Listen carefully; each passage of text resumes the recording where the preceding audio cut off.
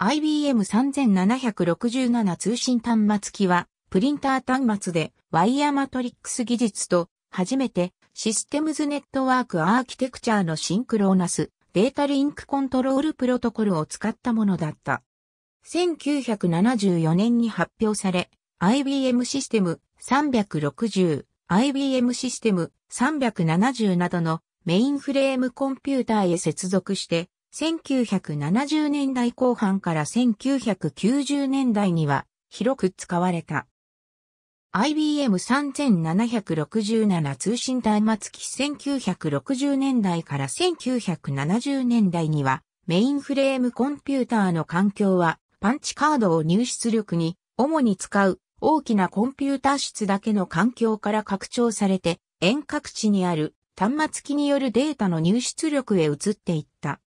この目的で IBM2741 などのプリンター、IBM2260、IBM3270 などの表示装置などが使われるようになっていた。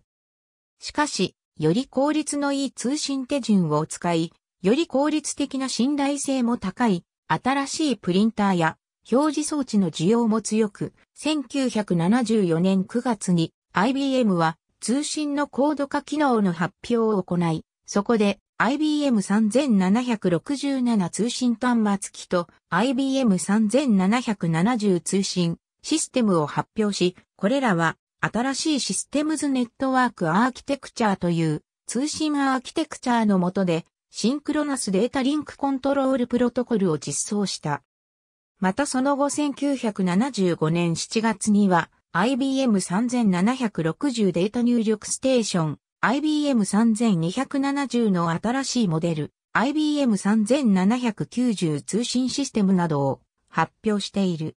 IBM3767 通信端末機は次のような機能を持っているいくつかのモデルがあり、機能を選べたこれらのモデルすべては IBM3705 通信制御装置などを通して IBM システム360システム370メインフレームコンピュータにつながり、IBM ネットワークコントロールプログラムやメインフレームのソフトウェアにサポートされていた。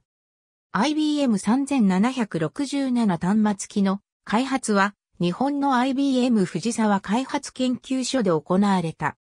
製造はノースカロライナ州リサーチトライアングルパーク工場で北米向け、藤沢工場でアジア、太平洋地区向け、英国、スコットランドのグリーノック工場でヨーロッパ向けが行われた。ありがとうございます。